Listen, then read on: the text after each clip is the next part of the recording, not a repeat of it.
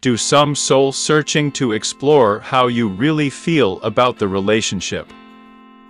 If you feel unhappy or alone, or if you feel like the spark is gone, but you also know that you do not want to give up, then a break in the relationship can help. It can fix some of the major relationship problems and guide you to take the right decision. Is taking a break in a relationship a healthy way to deal with issues? Well, it depends if both partners are clear on how long the break is going to be, and you set some rules and maintain the boundaries, it can work. When the issues in your relationships are a deal breaker, taking a break may not make much sense. Here are some of the most common reasons why couples go on a break. Both are arguing often and are unhappy. When one of the partners is having cold feet about commitment. Relationship conflicts and feelings of dissatisfaction. If one of the partners has cheated emotionally or physically. A break is all about giving each other some space and time to reflect, reevaluate, and work on themselves. Both partners need to agree, and the rules have to be clear. Taking a break in the relationship allows you to see things from a neutral perspective and gives you enough time to make decisions on whether you want to rebuild the relationship or end it. The do's and don'ts when taking a relationship break. First, you need to understand it is not a breakup. You are going to stay away from each other to contemplate and see whether or not you can further work on the relationship or if it would be better to call it off.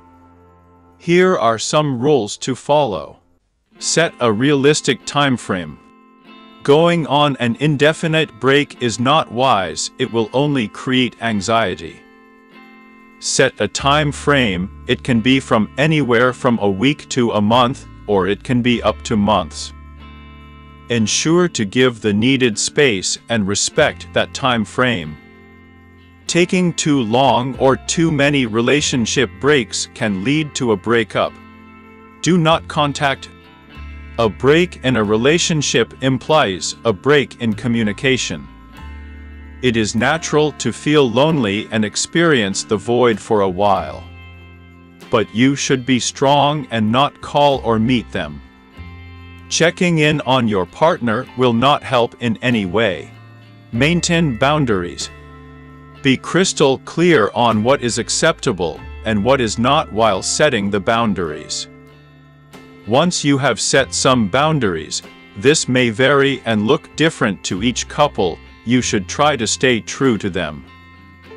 If you start to date other people and if this is not something you've agreed upon then it will only complicate the issues. Give time to yourself. Make your time apart count, pick up on your hobbies, visit friends, and also work on improving yourself. Reassess your relationship, and when you have clarity, you can make the right decision. Remove the codependencies, if you have been sharing a car or a pet, you may not be able to truly take a break.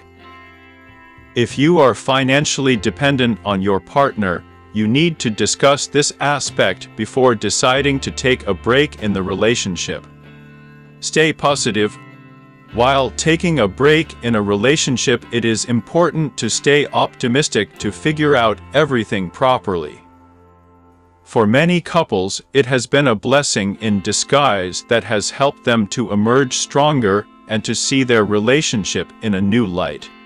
Ending a relationship after a break. For some after you've gone on a break you begin to realize that you have been working on your relationship for a long time and tried all that you can do to save it, but have nothing more to give. You may had several breakups but kept getting back together, but if your values aren't aligned, you're having non-stop ugly fights, or if you've undergone physical or emotional abuse, then it is best to break up for good. If you have lived in a toxic relationship, then a break might just make you feel good about yourself. Sometimes you feel you stayed because you felt obligated and now when you look back you do not want anything from your past.